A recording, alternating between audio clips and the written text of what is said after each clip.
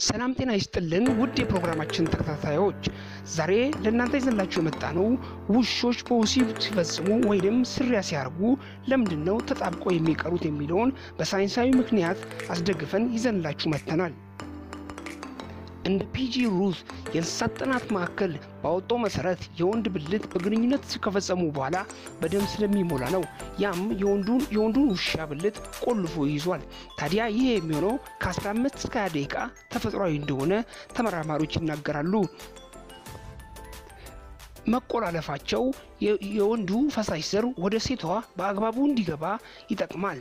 ሌሎች አዳዲስና አስገራሚ መረጃዎች ስላሉን ከኛ ጋር ይቆዩ።